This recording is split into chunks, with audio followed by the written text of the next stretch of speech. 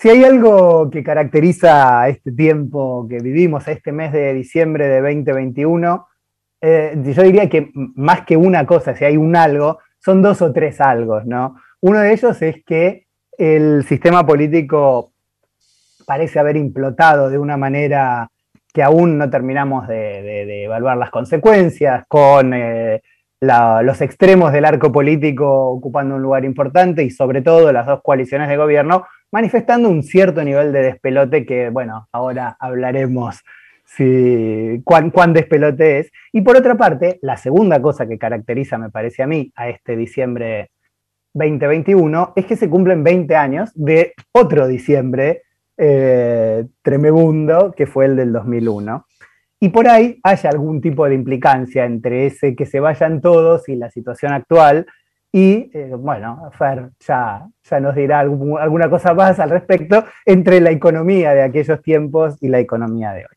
Pero para hablar de política, este, vamos a recurrir a uno de esos recursos que tiene este programa más o menos frecuente, con todo gusto, que es Daniel Montoya, que es uno de nuestros analistas políticos preferidos, es el titular, se diría, de Vaquero, que es un podcast de análisis político precisamente. Y, la primera pregunta, Daniel, saludándote, acá Pablo y Fernando Meaños, Pablo Helman y Fernando Meaños, la primera pregunta es, ¿se parece algo este 2021 de diciembre a el diciembre del 2001? ¿Qué tal, Pablo Ferre? Muy buen día, un gusto. A ver, todas las crisis tienen algunos condimentos parecidos, pero la verdad es que son todas diferentes es muy difícil de comparar una con la otra. Sí podemos encontrar por ahí en el caso de Argentina quizás un hilo conductor, pero a ver, vamos a otra anterior que es por ejemplo desde el 89. La cara de esa crisis fue la hiperinflación. En el caso de la de 2001, por ahí la cara, eh, más bien, o fíjate, inflación es mal. Ese año titulaban los diarios eh, inflación récord, daba eh, es más, desde el Banco Central Alemán decían que Argentina era la principal columna vertebral antiinflacionaria del mundo en ese momento. La inflación daba, ni uno daba por ciento. Bueno, eh, entonces no tenía que ver con la crisis del 89, pero sí era una crisis diferente en el sentido que aparece un fenómeno nuevo que es el hiperdesempleo. Y aparece otro fenómeno que la verdad es que venía creciendo por ahí lentamente y sin visibilidad en la tapa de los diarios desde mediados de los 70, que era el, indicador de pobreza. Ahora, esta crisis en particular, la verdad es que por ahí si uno lo ve por el lado de la inflación, si bien tenemos un indicador estrafalario, 50%, eh, pero está lejos eh, de lo que se veía por ahí en el año 89, y en términos de desempleo, la verdad, más allá de que ya pasamos el doble dígito, estamos también, me parece, muy lejos de la situación de aquel momento. Entonces es como una crisis que tiene algunas, uno puede hacer algunas analogías, pero tiene condimentos propios y yo diría que hay uno que lo podemos bautizar. Me acuerdo que en la época de Néstor se hablaba mucho de los superávit gemelos. Hoy tenemos superávit gemelos, pero del terror en el sentido que tenemos un par ah. que viene combinado junto, que es un superávit de pobreza y de inflación. O sea, viene un par 50 y 50 que viene caminando uno a la par del otro, así como las arañas que dicen que andan en tándem. Bueno, tenemos un doble, entonces es como una crisis que uno tiene que hacer una lectura eh, eh, por ahí un poquito más fina. Ahora sí, a nivel de hilo conductor yo creo que algo que por ahí puede unir quizás todas estas crisis que mencioné yo una y otra vez, es que todas tuvieron salidas espectaculares al cierre. O sea, uno ve, por ejemplo, la crisis de hiperinflación del 89, vino después en el 91 acompañado, Argentina tuvo una entrada de capitales.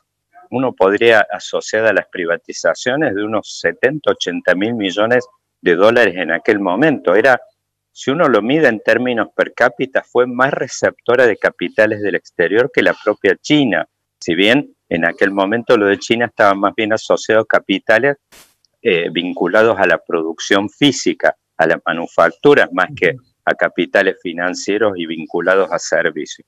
Después, la de 2001, fíjense, también una recuperación espectacular. Tuvimos cinco años de crecimiento prácticamente de doble dígito entre el 2003 y 2008, por supuesto no asociado a un proceso de privatización y de entrada de capitales, sino más bien eh, estaba asociado a un ciclo de commodities. Bueno, esta ahora en particular, fíjense que ahora de nuevo estamos con un ciclo de commodities altos, la soja en algún momento hasta estaba pisando los 600 dólares, vemos el, el oro pisando los 1800, bueno, los combustibles se está yendo lentamente, vemos el precio del barril de petróleo arriba de los 80, algo que le da vida a vaca muerta, pero yo digo, encontrando ese hilo conductor entre las tres de estas crisis que cité, podemos decir que Argentina es un poco la historia de las grandes caídas y grandes recuperaciones que no se sostienen. O sea,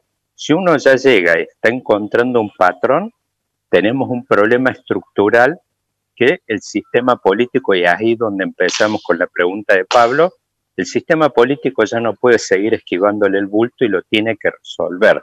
O sea, eh, la verdad es que uno, eh, cuando habla de política, la política es polarización. O sea, dice, no, estamos demasiado polarizados, con la grieta, todo esto. La verdad que es natural a la política que la política es polarización en todo el mundo. El problema es que acá tenemos una polarización que quizás en un montón de países también la tienen, pero de alguna forma hay un problema estructural que nos obliga a recorrer otro camino de que las cosas no funcionan, o sea, los resultados a la salida, si uno tiene que hacer el balance eh, de la, vamos a acotarnos por ahí el periodo democrático, bueno, nos encontramos con realidades donde estamos con el nivel de ingreso per cápita real de mediados de los años 70. O sea, Argentina tiene problemas eh, estructurales serios que lo obligan al sistema político, pero como este sistema político, donde el poder está repartido inclusive institucionalmente, porque la reforma del 94 de alguna forma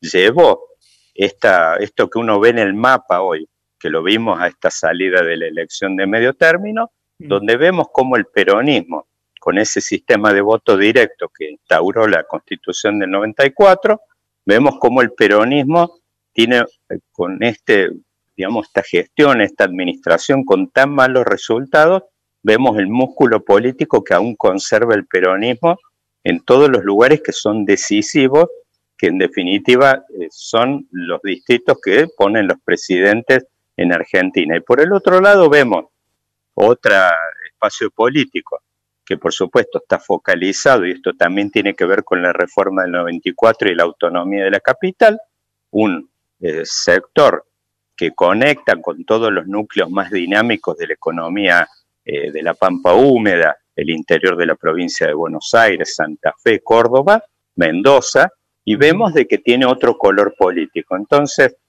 yo creo que la gran lectura, más allá yéndonos un poquito de lo más coyuntural que nos deja esta elección, es que el sistema político tiene, está obligado, no diría, diría desandar, pero a recorrer otro camino absolutamente inédito, que ya no podemos, o sea, el peligro que tenemos hoy es que Argentina siga eh, con estos ciclos donde de gobiernos que fracasan, tienen fracasos prematuros de cuatro años, lo vimos con la gestión de Macri, ahora lo estamos viendo con lo de Alberto Fernández, algo que le está dando chances de retornar al poder a, Juntos por el Cambio en 2023, pero con estas condiciones estructurales que tenemos y vemos los compromisos que estaría asumiendo el Fondo eh, Argentina con el Fondo Monetario con este acuerdo, la gestión naciente en 2023 tiene altísimas chances de fracaso si sigue recorriendo el mismo sendero que está recorriendo actualmente, los compromisos que va a tener. Bueno, ahora acá está Per, Meaños, digo, un experto en, esto, o sea, él, eh, tiene bien los números a la mano. Perdón, eh, ahí eh, vos señalabas la necesidad de, o el, hecho de que de otras crisis se salió de manera espectacular, ¿no? La convertibilidad es uno, los dos dije, las tasas chinas es otro. y hablabas de la necesidad de un cambio inédito en el país. ¿Qué te imaginas? ¿Qué, qué, qué, qué? Digamos, mañana te lo echan a Mansur y nombran a Daniel Montoya. ¿Qué es lo primero que hay? ¿Qué, qué, cosa espectacular haría el jefe de gabinete Daniel Montoya? Yo creo que está obligado el, liderazgo político a explorar, y yo digo explorar porque tampoco convengamos una cosa, hasta las constituciones, las reformas constitucionales en un montón de países tienen un eh, carácter, experimental. O sea, uno no sabe bien nunca en política porque no es una ciencia exacta, no pueden reproducirse procedimientos de laboratorio como ocurren en otras ciencias. Entonces uno esto no lo tiene claro, pero está obligado a explorar realmente el tema de una agenda de acuerdos políticos, pero no de fotos, fotos de ocasión, que ya ha ocurrido muchas veces, explorar acuerdos políticos alrededor de 10, 12 puntos básicos, por ejemplo. Lo que no podemos tener es una alternancia política que implique eh, eh, giros de 180 grados en las políticas más estructurales, gobiernos que pasan de tener un, un tipo de cambio recontra alto a uno recontratrazado, uno que apuesta al mercado interno, otro que apuesta a las exportaciones. O sea, no podemos seguir teniendo más esos ciclos y bueno, yo creo que la única manera en este momento, hemos recorrido todo el otro camino, sabemos cuál es y sabemos de qué haciendo lo mismo no podemos obtener resultados diferentes. Bueno, me parece que realmente esta vez estamos obligados, no sé si, porque este es un gobierno saliente prácticamente, yo no sé si va a tener el tiempo y si está el liderazgo político en este momento. Tiene estos sistemas de coalición, hemos visto por los dos lados. No es casual el crecimiento en las dos puntas, tanto de la derecha, por ahí referenciada en figuras como, bueno, este emergente Javier Milei, y del lado izquierdo del caño. Estamos lejos todavía de lo ocurrido en Chile, pero estamos viendo de que el, el centro del tablero político es como que se ha achicado un poco, no tanto al extremo del caso chileno, pero me parece que es como que en este momento la política tradicional o la de los partidos tradicionales está con tarjeta amarilla está obligada a recorrer. Si ese camino no se hace, el de explorar una alternativa a esto que sabemos que no funciona, el peligro que tenemos es que esto, este, estos espacio a nivel de centro, que hoy agregado en una de esas un 75%, en la próxima elección sea un 50% y que termine yendo a votar, hemos tenido una caída de la participación muy importante en la última elección. Crecimiento de los votos en blanco, eh, eh, es eh, todavía, o sea, son primeros síntomas, pero aparecieron. Ahora, Daniel, ¿por qué crees que eh, comparando esta situación que estamos viviendo con las crisis anteriores, como la de 2001 o, la hiper del 89 de Alfonsín, eh, en esos momentos los indicadores sociales eran mucho mejores que los actuales, digamos, la, la pauperización no había llegado a los extremos a los que llega en la actualidad. Y si buscamos un hilo conductor económico, siempre el hilo conductor eh, en la Argentina es que se gasta más de lo que se recauda. Eh, los que prometen eh, gastar menos no lo hacen y los que prometen recaudar más tampoco llegan, con lo cual siempre el hilo conductor este, es que estamos en ese, en ese déficit fiscal crónico. ¿Por qué crees que la sociedad o el sistema político, como quieras verlo, desarrolló tanta intolerancia a conseguir equilibrio fiscal, pero a la vez tanta tolerancia a tener los niveles de desempleo y pobreza que tenemos hoy.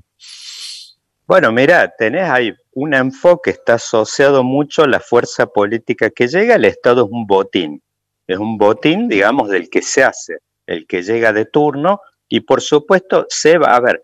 Por ejemplo, fíjate lo que ocurrió, vamos eh, a 2015, por ejemplo Ahí en ese momento llegó al poder una fuerza, vos podrías decir, de centro derecha encuadrada internacionalmente, y sabemos que son las centro derechas internacionalmente, fuerza que defienden más el tema por ahí de la racionalidad económica, eh, ciertos principios, el respeto del tema de ciertos cumplimientos de normas y todo este tipo de cosas. Y vemos cómo hay una, una fuerza de centro derecha y lo vemos con este acuerdo del Fondo Monetario, vos ves cómo adquirió o implementó una conducta absolutamente irresponsable respecto a esto. O sea, son cosas como que van a contramano, así como pasa en este gobierno actualmente, que supuestamente es una fuerza que podrías decir tiene componentes adentro de centro izquierda, progresista, que hacen énfasis más, eh, digamos, eh, tiene un sesgo más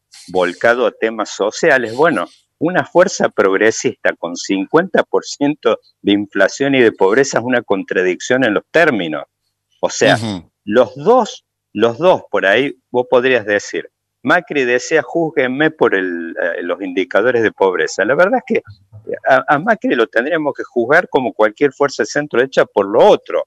En realidad, a este gobierno en particular me parece que tiene que aplicársele la vara porque además es un gobierno de rótulo, eh, digamos, nítido y de, digamos, autodenominado peronista. Entonces. Vos, decís que para Macri, para Macri es más reprochable no haber alcanzado un equilibrio fiscal y no haber ordenado la macro. Totalmente. Es, mucho más reprochable eso. Totalmente. A una fuerza de centro derecha en ningún lugar del mundo la votan para que haga vivienda y para que cuide a los pobres. O sea, esa es una realidad. Me parece, acá tenemos un problema. Por eso te decía yo de acuerdos políticos. Tenemos un problema donde las etiquetas y los contenidos de los envases están cambiados y tienen confusiones y fíjate que ambas fuerzas tienen afinidades enormes en el sentido que una vez que llegan al gobierno adoptan comportamientos y políticas que no tienen nada que ver con los rótulos de sus etiquetas. O sea, yo eh, eh, el otro día vi en un acto, por ejemplo, el tema cantando la marcha y todo este tipo de cosas. Un gobierno eh, no, no puede tener lo que te digo yo, el rótulo, ni, ni siquiera auto, digamos, invocarse como, como peronista teniendo estos indicadores sociales. Después del otro hablamos, si vos decís, está bien, los ministros no hablan inglés, todo eso, justamente para eso están las fuerzas, las otras, para entenderse. Entonces, fíjate una cosa, llegó una fuerza de centro derecha que el mundo, el sudden stop de abril de 2018, ahí tenés una fuerza de centro derecha perdiendo de local. Justamente, ¿qué le dijimos a Macri en 2015? Eh, bueno, sacamos al kirchnerismo del poder para que llegue una fuerza que se entienda con el mundo, que hable inglés y que se entienda muy bien con Wall Street y los inversores. O sea, en realidad fue votada para hacer lo que están insinuando ahora con la fuerza, eh, con el oficialismo actual. O sea, que haga el entendimiento con el Fondo Monetario, que se abra al mundo, que atraiga inversiones, o sea, políticas más de, yo diría, de corte, eh, digamos, eh, económicamente más racionales. Entonces, por eso te decía yo un poco, hay, me parece que algo que debería incentivar a sentarse en este momento a las dos grandes fuerzas políticas en la Argentina es reconocer en primera medida los fracasos estrepitosos y visibles que han tenido de local, no les, no les pidamos que ganen de visitante.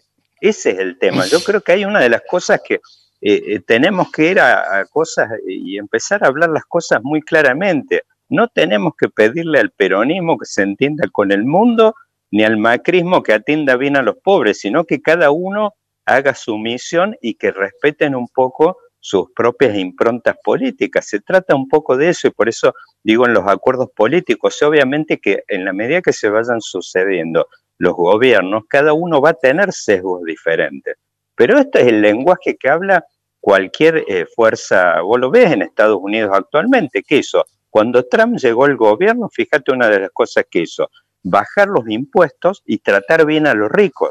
Pero los republicanos están para eso, están para eso. Trump llegó, hizo eso y cumplió con su contrato y por eso ahora tiene chances de volver al poder en el próximo turno. Bueno, del otro lado llegó Biden y Biden está operando sobre su base electoral, que es, por ejemplo, recuperar los sindicatos. Los sindicatos han sido la columna vertebral, eh, vertebral tradicional del Partido Demócrata. Bueno, nosotros tenemos que recuperar esa eh, eh, yo diría, esa lógica política básica que opera en todo el mundo, lo vemos en Francia con Macron también, partidos que sean más amigables con el mercado y partidos que sean más amigables por ahí en una de esas con las políticas sociales. En la medida que esté vos, vos ves, Daniel, en, este, eh, eh, en esta segunda mitad del gobierno Alberto Fernández, ¿ves una chance más de sentarse a consensuar algo? ¿O ves, por el contrario, eh, un escenario, digamos, como el de Chile, por nombrar un caso, donde las posiciones se van polarizando cada vez de manera más extrema? ¿Hacia dónde nos estás viendo? Yo creo que el problema que tiene, me parece que está en la intención de Alberto Fernández, pero me parece que él tiene el problema quizás, no el que se suele asociar la figura del Titanic, que bueno, obviamente la, gente bailando arriba de la cubierta, eso no, sino el hecho de que el problema del Titanic era que era un barco demasiado grande con un timón chico. Eh, eso explica bastante su final. A mí me parece que el problema que tiene Alberto Fernández es que él no tiene timón. O sea, lo que él no puede, más allá de intenciones que tiene y se ven, uno lo ve a Vélez hoy en Brasil, lo ve a Scioli en Brasil, lo ve a Jorge Argüello en Estados Unidos, o sea, se ve claramente a Culfas en producción, o sea, se ven pinceladas de lo uno que podría decir albertismo, uno ve que hay hmm. una intención, una cosa de ese tipo. Lo que pasa es que me parece que el problema es que la matriz de esta fuerza política le impide, y lo vemos que un poco todos los límites, o sea, Alberto explora un poco algún tipo de autonomía y automáticamente el otro día ocurre, o vos decís, a ver en qué momento aparece la carta, en qué momento llega el cartero con la carta de, Rapanui.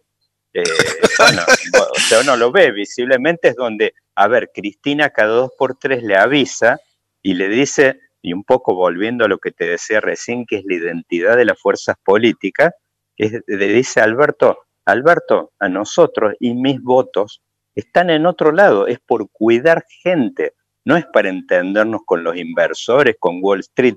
Nosotros somos una fuerza que es esto. Y yo me parece que en ese sentido banco mucho, un poco y muy en sintonía con lo que estaba diciendo recién, de que a mí me parece que cada fuerza política tiene que hacer y cumplir la misión para la que existe. Si no tenés esta confusión, como decía dice Polo, en el lodo todos manoseados, digamos. En Daniel, te, claro. Te, te, hago la última por mi parte, que se nos va el tiempo. No puedo dejar de preguntarte, aunque ya está un poco fuera de agenda, eh, ¿cómo te sentiste? Eh, sos nuestro cordobés de cabecera, así que te lo quiero preguntar. ¿Cómo te sentiste el día que Alberto dijo que los cordobeses estaban, necesitaban integrarse a la Argentina porque estaban votando distinto? Bueno, a, ver, Alberto, no solo los cordobeses, sino que lo que se está viendo, que el fracaso de este proceso político le está llegando a todas las cepas del peronismo. Obviamente donde golpea peor es en Córdoba. O sea, a ver, Alberto con esa declaración le dio a juez eh, unos 50, te diría 5 o 6 puntos adicionales de los que tenía y le ha creado un problema que tiene una amenaza. El cordobesismo, que es un proceso político muy exitoso, con dos décadas de rodaje en el poder, tiene una amenaza seria de perder en 2023 el poder local. Bueno, así como le ocurrió esto, está esta pandemia, eh, digamos, generada de acá, impulsada desde el poder central, le ha llegado a todos. Mansur terminó contando los votos en Tucumán, Uñac, la gran esperanza blanca del peronismo republicano, ganó por un punto, eh, eh Coqui Capitanich eh, terminó también dando vuelta, pero contando los votos. O sea, este le ha generado un problema a todas las cepas del peronismo y obviamente le ha generado el problema mayor a la cepa por ahí en una de esas más particular o más eh, autóctona que es la nuestra, la cordobesista. Daniel, la, última para, para despedirnos y, lo más, y lo más breve que, que, puedas. Eh, tiene, vos hablabas del no timón, del casi del casi, digamos, el lugar tan bajo que, tiene en la consideración pública Alberto. ¿El giro mercado friendly puede ser que lo ayude un poquitín? Sí, a ver, digo, e, es lo que explica la presencia de él en la fórmula, que es en definitiva lo que iba a ser también Scioli en 2015. Eh, lo único que explica eso justamente de que eso era la intención de un giro en sí mismo. El problema es lo que te digo yo, de que ahí es donde está un poco lo que te decía, plano, las intenciones y las realidades. Esta es una fuerza política que es muy difícil de llevar hacia ese lado. Eso lo puede hacer un, neo-Menem, digamos, tiene que ser un peronismo que en 2023 que incorpore un condimento, que si vos decís tenés una confluencia, qué sé yo, decirte entre mi ley, estos sectores más eh, que han aparecido más liberales, que digamos eh, no están culposos con ciertos, eh, digamos, ciertas políticas de los años 90, y todo esto en la medida que quizás aparezca un peronismo reformulado en términos quizás una diagonal entre esto que surgió en la capital y esta, eh, recién Fer preguntaba del cordobesismo. El cordobesismo puede ser un componente importante, así como otras cepas del interior que encaren y lideren un proceso de este tipo. Daniel Montoya, la verdad, un placer, no sé si ayudaste a pensar. La seguimos eh, con Ariel o sin Ariel en cualquier momento. Un abrazo Pablo Per, gran saludo y grandes conductores de, reemplazantes de, de Ariel. Te escuchamos por otro lado y eso se lo decís a todos, así que. Fuerte abrazo. muchas gracias, abrazo grande.